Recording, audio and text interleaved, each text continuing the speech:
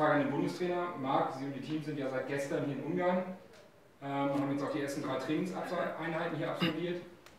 Wie ist denn Ihr erster Eindruck von den Gegebenheiten, der Unterkunft und den Trainingsmöglichkeiten hier vor Ort? Ja, bisher ist äh, alles durchweg positiv. Also von der Organisation bis über die Trainingsplätze und auch hier alles, was im Hotel ähm, so passiert, ist es wirklich sehr, sehr gut. Äh, die Transfers kommen pünktlich. Wir haben einen sehr, sehr guten Trainingsplatz, auf dem wir arbeiten können. Das Hotel ist top, Wetter spielt mit, was ja auch für das allgemeine Wohlbefinden der Spieler immer eine sehr, sehr große Rolle spielt. Und man kennt das ja auch, wenn das Wetter gut ist, dann kann alles andere, kannst du auch unterm, unterm Zelt hausen, so ungefähr, dann, dann passt das schon. Und insofern bin ich ja, sehr zufrieden mit dem, was wir jetzt in den ersten anderthalb bis zwei Tagen so vorgefunden haben und wie wir uns auch vorbereiten können. Das verläuft alles sehr planmäßig. Und ja, dementsprechend äh, bin ich fürs Erste zufrieden. Und wenn das so weitergeht vom, vom organisatorischen Niveau her, dann werden wir hier auch echt eine klasse EM erleben. Ich würde die nächste Frage gerne nochmal an Sie stellen, Marc. Ähm, wenn Sie sich die gesamte Vorbereitung nochmal vor Augen führen, also das, den MyBet for Nations Cup Anfang des Jahres, der in meinen Augen relativ gut lief, ähm, aber dann auch wieder die durchwachsenen Testspiele gegen ähm, Polen und Tschechien jetzt Mitte, äh, Mitte des Jahres bzw. kurz vor dem Turnier anschauen. Ähm, welche Rolle trauen Sie Ihrer Mannschaft hier zu? Ja, die Vorbereitung in diesem Jahr war tatsächlich nicht ganz so optimal, nicht so, wie wir uns das vorgestellt haben. Wir sind letztes Jahr aus der EM gegangen mit dem Ziel, uns ja, nachhaltig einzuspielen. Das ist uns nicht ganz gelungen, weil wir viele personelle Probleme hatten durch Veränderungen, Spielerabsagen, Spieler, die ausgefallen sind. Wir mussten nachnominieren, konnten nicht ganz so scouten, wie wir uns das vielleicht gewünscht hätten. Nichtsdestotrotz haben wir eine sehr, sehr gute Mannschaft am Start, die nur noch nicht so eingespielt ist, wie wir das vielleicht gehabt hätten. Ähm, ja, in Witten konnte man schon sehen, dass bei gerade einigen jungen Spielern sehr viel Potenzial ist, die wir in der neu gegründeten U21 jetzt in diesem Jahr rekrutiert haben.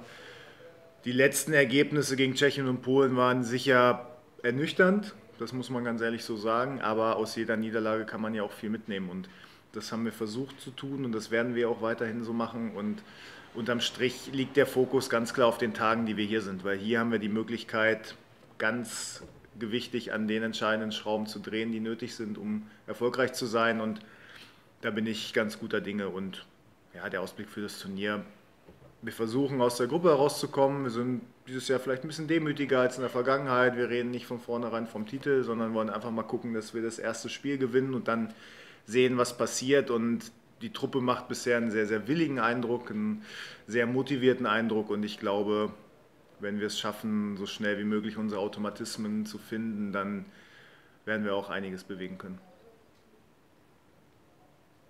Florian, das deutsche Team ist ja ein sehr junges Team. Vielleicht kannst du uns mal einen Einblick hinter die Kulissen geben, wie die Stimmung im Team ist und was ihr erfahrenen Spieler macht, um die Jungen zu integrieren.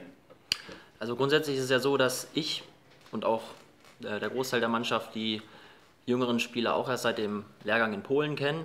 Jetzt sind auch nochmal welche dazugekommen, sodass wir eigentlich seit gestern ähm, ganz neu formierte Mannschaft sind. Also zum größten Teil haben wir in Polen schon mal zusammengespielt, aber es sind noch zwei, drei Spieler dazugekommen. Ähm, natürlich versuchen wir als erfahrene Spieler, gerade die auch schon Europameisterschaft gespielt haben, ähm, die Jungen so ein bisschen zu führen.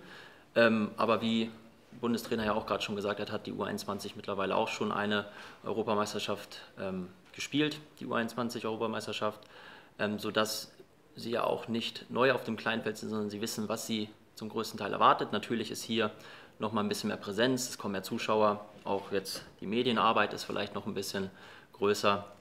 Aber grundsätzlich sind wir auf einem guten Weg. Wir sind jetzt anderthalb Tage hier, ähm, haben uns so ein bisschen beschnuppert, haben uns kennengelernt, ähm, haben auf dem, auf dem Platz jetzt auch schon drei Trainingseinheiten hinter uns ähm, und man integriert sich ja schnell, kommt schnell auf einen Nenner und wir haben ja auch im Endeffekt ein gemeinsames Ziel und zwar ähm, so weit wie möglich zu kommen und von daher passt das alles. Dann noch eine eher persönliche Frage an dich, Florian. Heute ist ja das erste Testspiel hier in Ungarn gegen Griechenland. Werden da irgendwelche Erinnerungen bei dir wach? Stichwort Kreta 2013? Ja, werden sie.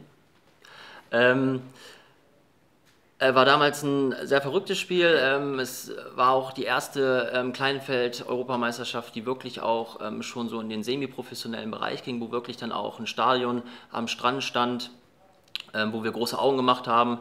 Und an dem Abend haben wir, wie gesagt, gegen Griechenland im Viertelfinale gespielt. oder was das Achtelfinale? Achtelfinale. Das Achtelfinale damals.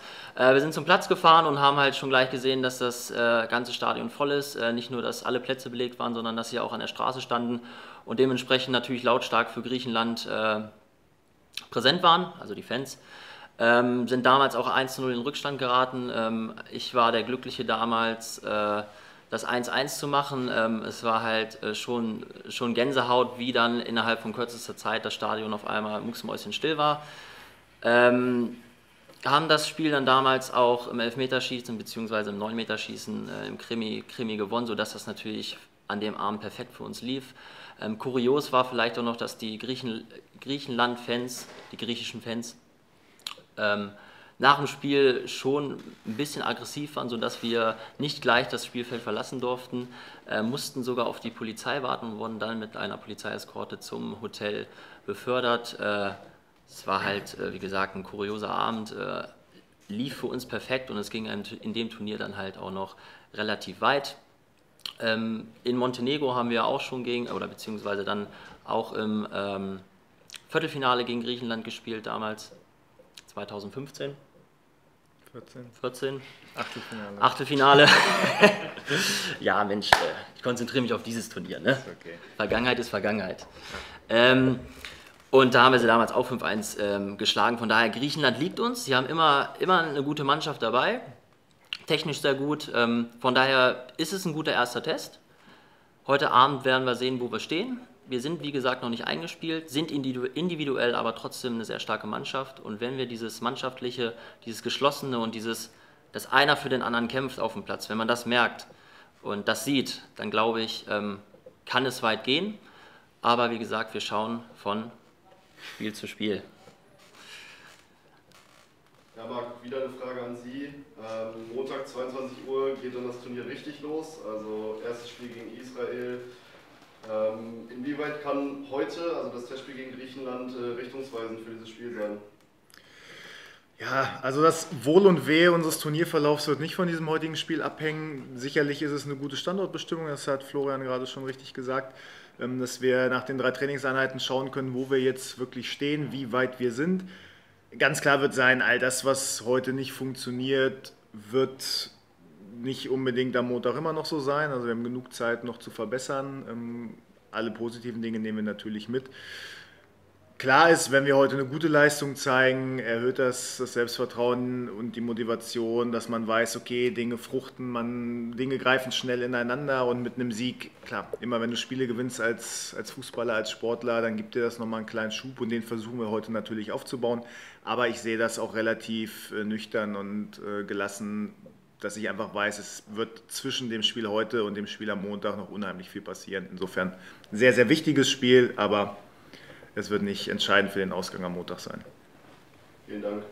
Florian, vielleicht noch eine letzte Botschaft an die deutschen Fans, bevor es dann Montag losgeht. Also in Richtung Livestream wird ja alles live zu verfolgen sein. Da also grundsätzlich ist es so bei mir und ich denke auch bei allen anderen in der Mannschaft, äh, dass wenn man nach dem Spiel nach Hause kommt, beziehungsweise das erste Mal auf sein Handy schaut und im Endeffekt sieht, wie viele einfach diesen Livestream verfolgt haben, dass uns das persönlich natürlich stolz macht, dass uns das natürlich auch motiviert.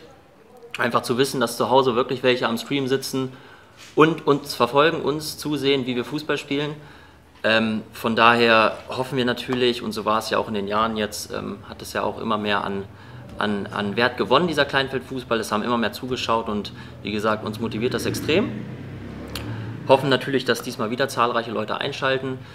Ähm, und wie gesagt, wir werden unser Bestes geben, äh, versuchen guten Fußball zu spielen, einen attraktiven Fußball, damit das natürlich auf dem Livestream dann auch ähm, schön ausschaut. Ähm, am Ende des Tages zählt natürlich das Ergebnis und von daher versuchen wir die Vorrunde jetzt zunächst einmal als Sieger zu verlassen und dann geht es weiter Richtung Achtelfinale. Und ja, ohne Fans geht es nicht. Und äh, ja, schaltet ein. Dankeschön.